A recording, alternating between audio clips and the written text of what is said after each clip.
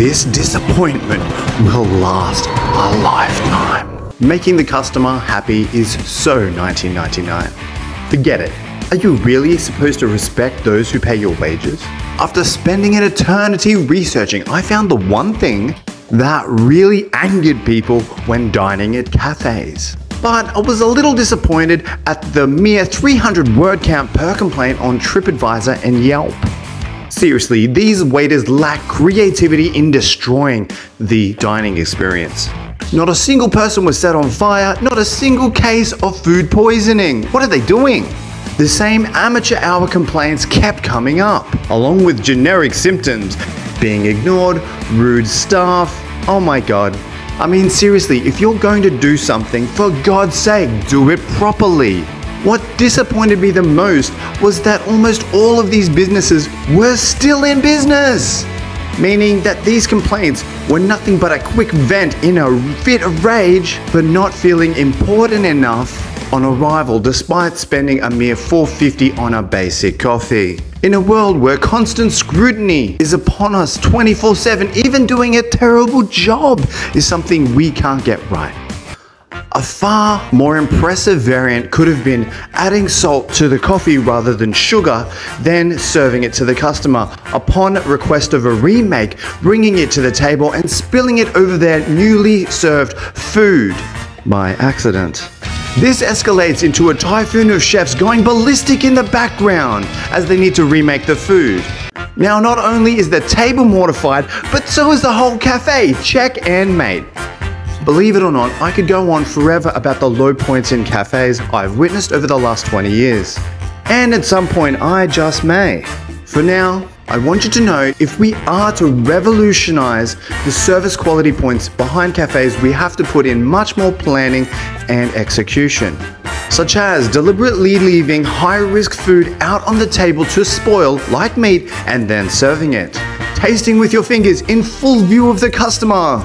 Overcharging the customer on purpose. Penalizing the customer for leaving food on the plate. Then eating it in front of them wearing the same uniform three days in a row, flat out cancelling an order because the spend wasn't enough, making up fake excuses why the prices go up 50% on Wednesdays. And my favorite, leveraging online platforms to boast about the epicness of your in house debacles. By now, I hope you're understanding that I'm making a serious joke about a serious situation within the cafe industry. Because I am. Remember in the beginning, I talked about disappointment and it lasting a lifetime? Is that a reality you really want? Because bankruptcy does. There's nothing that saddens me more about this industry I've called home for over 20 years, as much as the horrifying reports of customer service. While the cafes may be more of a zoo than an orchestrated symphony, it's clear that both coffee and avocado on toast are here to stay. The average consumer may now be more apprehensive than they once were at where they dine out, and I would totally condone this. One incredible way to increase the quality of an industry is by demanding it through your spending habits and your feedback. Good managers and owners are always interested to hear about these metrics and always find ways to outperform their competition. This could be one of the major reasons why 60% of all hospitality businesses go out of business within the first year. Think about this. If you, as an owner or an employee, have ever received a bad review, it's startling. If you address it the right way, not only will you win your mistake back, you'll show your onlookers that you can be trusted. I believe that you can turn something terrible into something great, especially if you apply the right intentions. Check this out. Out of the 121 reviews I found on TripAdvisor, 78% of them were either good or excellent, leaving an endearing 22% at either average, poor, or terrible. Hey, the 80 20 rule. One thing is evident with all of these venues Years ago, some of them had scathing reviews, but now in the present, they have raving fans. Maybe a change of ownership. But let's say the ownership didn't change but rather the attitude of the management style was what transformed. To me, this is just a work of art, so how did they do it? Here's my two cents. The absolute main complaint that came up in my research was service oriented. With that in mind, an owner or a manager would have overhauled the service process.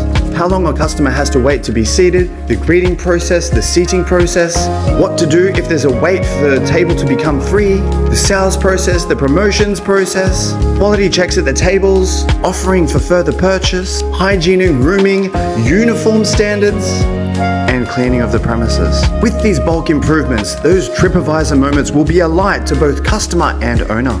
As a chef, one thing I relished was the opportunity to speak to customers and promote new specials and menu items before they were released.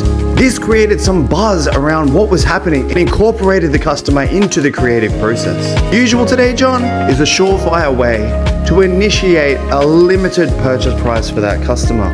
Instead, offer new ideas and let them make the decision. Did you know that most of the time a new offering isn't bought on the first time? It takes multiple offerings over a period of time.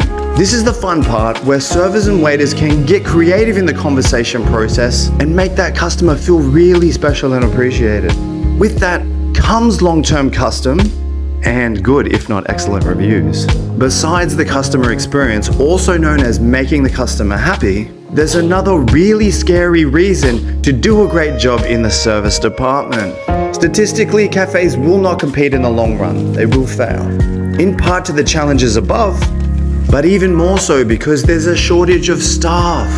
I've witnessed Many cafes address this tactic by having coffee staff moonlight as chefs, calling them all rounders. This may work for some of the more easier menu items, but think about this how good is the food really going to be?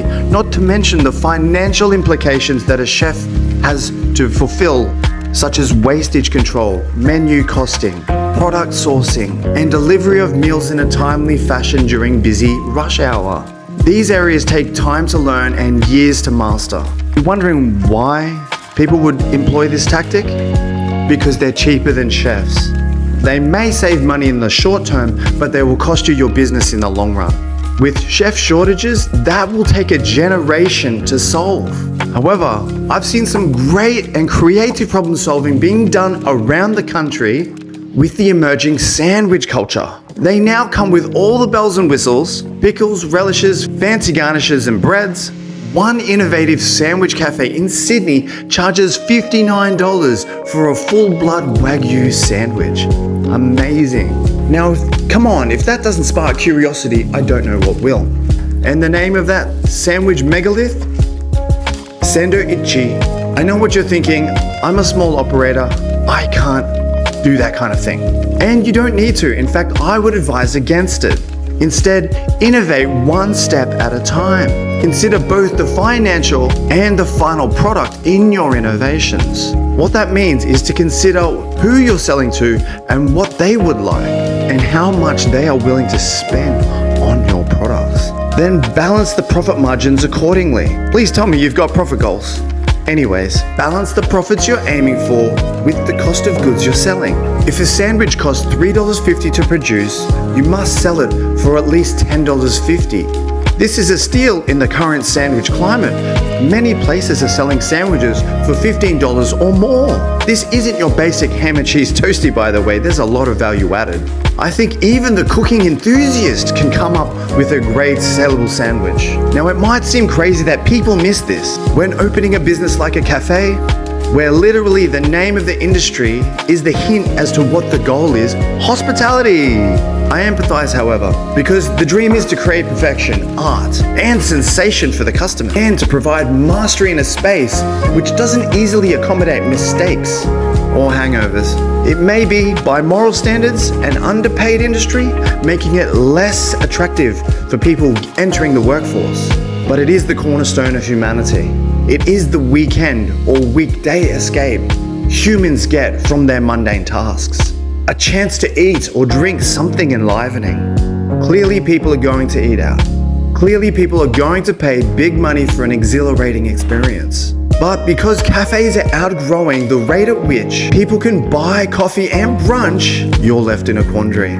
You've got to decide what are they paying for? Your gorgeous establishment with incompetent staff or staff that deliver on every single promise.